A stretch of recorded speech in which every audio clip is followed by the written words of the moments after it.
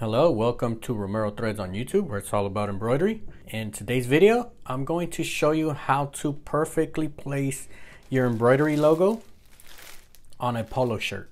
So here on the Mighty Hoop Station, I kind of made some marks here to kind of illustrate and get an idea of everything that I talk about. I'm gonna make sense out of that with these marks that I have here. Okay, so right now it looks like it's all crazy stuff happening right here but this is to help me explain the do's and the don'ts on placement on a polo shirt. Okay, so first off, let me open up my polo shirt here. This shirt here is for my own personal project. Okay, it's a pro club. And one thing that I like about polo shirts, I like to look for polo shirts that are 60 40. So 60% cotton, 40% polyester. It just gives it a, a, like a nice little stretch here. All right, very embroidery friendly. Now in today's video, what I'm doing is I'm looking for the perfect placement. And just as an FYI, there is no magic number where I can give you an exact, exact measurement on where your perfect placement is at. And that's because it really depends on two factors, okay? Uh, factor number one is the size of your shirt. The placement on a small is going to be different from the placement of a large, especially once you go XL, double XL. All right, you're, you're going more wide on the placement. Number two is the shape of your design. So, depending what the shape of your design is, that's going to play a role on where exactly your placement's at. All right, so right here, I have different shapes. I'm gonna put this as a free download. Okay, you could print this out it'll be a PDF here. And what I like to do, this is cardstock, so okay, it's pretty thick. All right, I like to cut these out, and I have the measurement here, so you could kind of when you cut them out, you could kind of see for yourself how it looks on the placement. What I like to use, okay, you've seen me use this, the embroidery helper. Okay, I've had this forever and this is the only one I've ever bought so it's lasted me years and years. But you can see here I can place it kind of gives you an idea all right it gives you a sweet spot of where to place your center point. All right so right here I just have a chalk pencil all right and then you just look for the size so I have a size large here so I just put a little dot right here. All right, just simple little thing. So what I'm gonna do, I'm gonna cut this up. So I'm gonna make a design that's 2.5 by 2.5. So right now my guide has me about right here, okay? This is my center point, has me right here. Sometimes I like to override my embroidery helper. You could kind of get an idea right here. You kind of have an idea whether you want to shift a little bit up, if you want to go a little to the left. Usually I like to go a little bit uh, to the left. I like to be using my bottom button as a reference, okay? So anytime you're using the guides, for the most part, you should be good with the center point, but sometimes, okay, you could use judgment. For example, here, if we have a narrow, okay, let's say this is a four by one, narrow one. When we have narrow, you wanna be careful kind of reaching this area here close to the armpit because what happens is once you get kind of in the long area once it's stitched out and somebody's wearing it it could tend to kind of fall in this waterfall area. Okay the last thing you want to do is be in this area here. What I like to do once I'm going a little narrow I like to start pushing to the left side all right? Getting closer to this area just so I don't, I don't have any fall off here on the right hand side all right? And then here you could kind of have an idea where you want to be. Now, this here is the Mighty Hoop Station.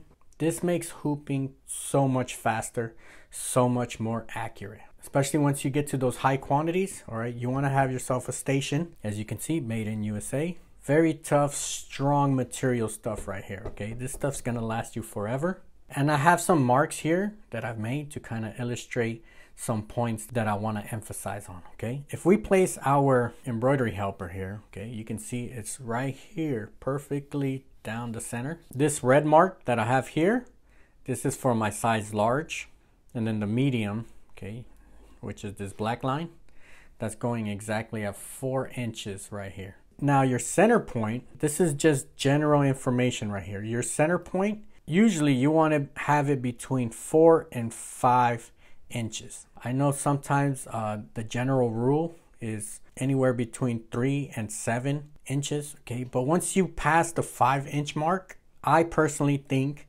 you start going too much on the right hand side. So I like to limit myself maybe at five inches. Now, if you're going uh, double XL, triple XL, now you might go to the 5.25, 5.5. And if you're going super, super big, you might be at the six. Unless you're in that area, you, you, you shouldn't really pass the six inch area for your center point, okay?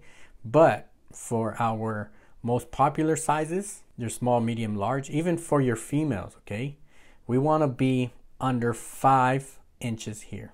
Really the sweet spot is hanging out around the four inch mark, okay? That's where I have my marks here. This red line, this is my large here on the embroidery helper. And you could see here it's at four and a quarter. All right, the XL has it at four and a half. And then I've showed this one in a previous video here. Okay, these are just notes that I have on the embroidery helper. Okay, it kind of breaks it down and it lets you kind of have an idea of areas that you should be at. All right, so right here I have it at large at 4.25. You can see my red mark is perfectly at 4.25. XL is at 4.5. I'm kind of highlighting here these two marks. These are like my sweet spot. So let me remove my ruler here. So really what I want to highlight here, okay, this is kind of like my sweet area right here. So when I'm placing, okay, my hoop, usually I'm around like in this area right here. Okay, usually like at 23. I have my center mark here that I marked. Okay, it's close to the size large. All right, the good thing about the 5.5 really for a lot of your logos, all right, it clears that area right here. Now what I like to use, all right, this is just an extra add-on. All right, I have all the information down below. And just as a reminder, I do have a free shipping code for Mighty Hoop products. If you order online, you could use promo code Romero and that'll give you free shipping within the continental US. This one here, I like this station extender because you can see it opens up the shoulders here. It gives me more area here to help me strain up. This is where you can go with your customer, get a confirmation exactly where they want it. For the most part, they'll trust your judgment. They'll say, hey, you're the professional. You know where to put my placement. Okay. So sometimes, especially if you have these narrow ones, okay, there might be a time where you might want to get a confirmation. Uh, worst case scenario, you can try a polo shirt on and see for yourself if that's a good spot. So here it has me at this area. So if we measure this out here, okay, you can see I'm at about 4.25. Since I have a circular, I might want to go a tad bit up and a tad bit to the left. That's my judgment call. The perfect placement, I'm to say a lot of it is a judgment call. It's what do you feel, okay? Where do you feel is the best location? So here in this situation, I'm gonna pull up and move to the left a tad bit.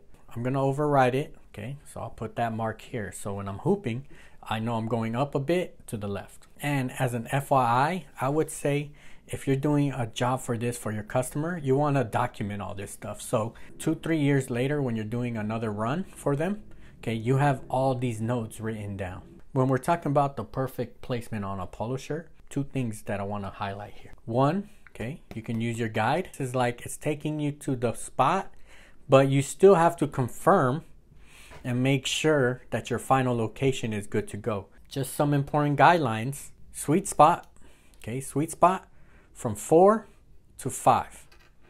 Okay, you could probably even go uh, you can uh, probably even go on some very narrow designs.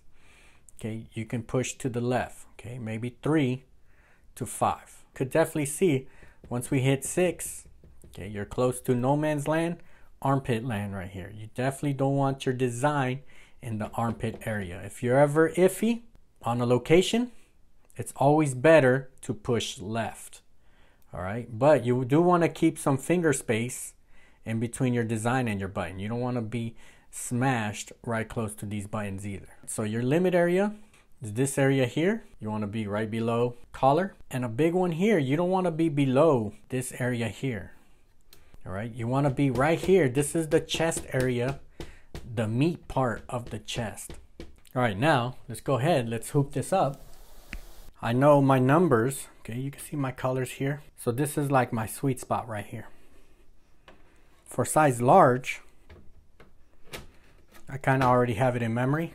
Number 23 is my go-to number. And then if I were to go XL, I kind of go diagonal. So 28, 23, 18 is more like for uh, small and large. This is where I know a lot of people mess it up right here, right? Because I know because I used to mess it up right here. So here we have the 5.5. 5.5 pretty much covers a whole range of logos for polo shirts. So if you're doing polo shirts, okay, this is kind of like automatic hoop that you want to have. Here for backing, this is like my favorite one that I have. This is the Pro Performance from Allstitch. 8x8, make sure you get the 8x8. All right, so you can see how the 8x8 perfectly covers this hoop right here. All right, snap, snap. You want these snap snaps? Look at how flat this is. In this situation with polo shirts, you want to be sure that your backing goes over your hoop. Place polo shirt over. Okay, just slips down perfectly. And I like to button up all the buttons. It tightens up nice and tight up here. Okay, and I'm just following the seams up here. All right, you can put this one down here and it'll kind of give you a reference to see if you're good. All right, or you can put a ruler right here too. Down the buttons, bam. All right, looks good. Okay, so these little screws right here, these are gonna sit right in here. You want your notch face up. Okay, it's just resting. And if you have to make any changes, the shirt is good here. So let's say uh, I wanted to bring this design a tad bit down. For this project for size L, I put it, so now I changed it to a 27. All right, now it looks like it's you can kind of eyeball it right here. You can kind of see where it kind of lines up. Once everything is good, this is the easiest part right here. Right, and then you want to verify. Sometimes you could just kind of pass your hand on the bottom, but this is how you want your backing to look like, okay? This, this kind of ensures that your design is going to have a nice, flat, consistent area to stitch on. You don't want this to be loose or you don't want to have gaps right here because that can sometimes give you errors on the stitching. All right, we're gonna stitch this out and then I'm gonna put some tender touch to kind of really seal the deal right here.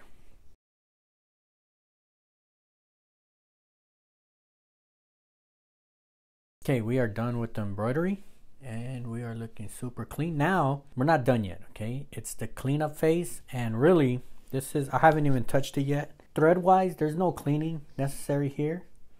Okay, everything was all nice and clean here. This orange, all right, I don't know if you can tell through the camera, but this is a candle thread here and it has like a nice clean shine to it. Right? Very nice clean. Like I like the contrast because this is a navy blue sweater with the super bright orange. All right, really stands out. Now, let's go ahead, let's add some tender touch. So here, I'm actually on my iron board right here. Okay, so of course we're gonna flip it inside out. I'm gonna cut our backing and add tender touch. All right, so right here, I'm gonna use tender touch and this is to cover the stitches here. So here says protect sensitive skin from scratchy stitches. A soft and flexible knit mesh that retains the hand and drape of the fabric. Okay, also this one, I like to use this. It prevents puckering too, just over time. It says great for baby and kids garment, of course, sports apparel, lingerie, spandex, golf shirts, covering any embroidery that may be irritating to the skin. All right, so this is how it looks. It has like a mesh. So what you want to do, you want to cut out a piece. So here, I cut out a piece. All right, and all we have to do is a couple steps here. Here, I got the iron. So here, I'm using a Rowenta ProMaster 1700 watt. What I want to do, and right now, I have it high and I'm just gonna iron the the shirt. Okay I don't really want to hit the threads just because the iron's hot. And I don't want to burn the threads but I do want to warm up the shirt just so when I place that tender touch the tender touch just smoothly warms up onto the shirt. Right now I have my my iron super hot. Now I'm gonna lower it kind of like a little bit above half. Place this right over it get it perfectly centered now I'm just gonna place my iron right above it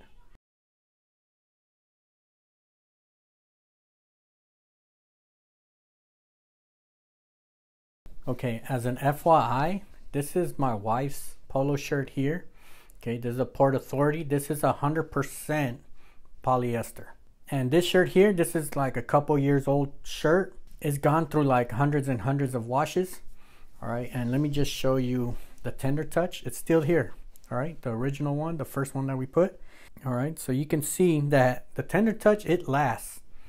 And this is um, polyester. Uh, and you can see that it hasn't puckered or anything all right still standing strong after years and years of washing all right it lasts you just have to make sure when you laundry it you don't put it on full blast heat just dry it on delicate settings all right don't don't go overboard with the heat so this here is our final one okay so let's see if we can get a good view right here if you have any questions, comments, any detail that I might have forgot, please leave it down in the comments below. And I'll catch you on the next one. Peace out.